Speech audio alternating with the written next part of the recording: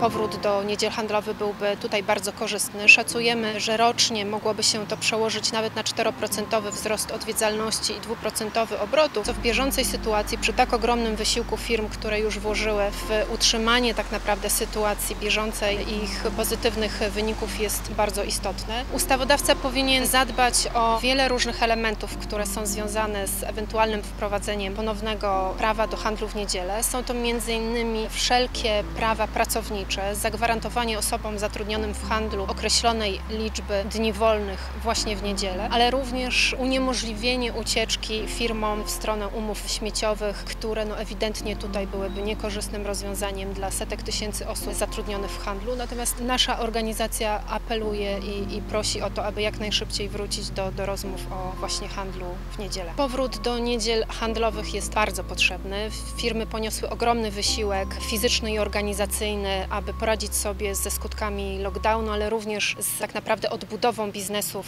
już po 5 maja. Mam nadzieję, że rząd zwróci uwagę na to, że handel jest istotną częścią gospodarki, a tym samym płatnikiem VAT-u i różnych innych podatków, należności danin. I również z punktu widzenia jak gdyby całego państwa będzie to narzędzie, które zostanie możliwie szybko i w krótkim czasie wprowadzone. Niedziele handlowe na pewno dla budżetu państwa byłoby najlepszym, najszybszym i najprostszym rozwiązaniem. W związku z czym naprawdę apelujemy o to, żeby się nad tym najprostszym rozwiązaniem pochylić i mocno zastanowić. Pozostałe możliwości na pewno generują już po stronie budżetu państwa dużo większe trudności, a przede wszystkim również obciążenia. Są to na przykład zwolnienia galerii handlowych z podatku od nieruchomości, ale również na przykład wprowadzenie tak zwanych metod kasowych rozliczenia podatków VAT i CIT. Natomiast z naszego punktu widzenia najprostsze rozwiązania są najlepsze i dlatego właśnie chętnie usiedlibyśmy do stołu i porozmawiali o handlu w niedzielę.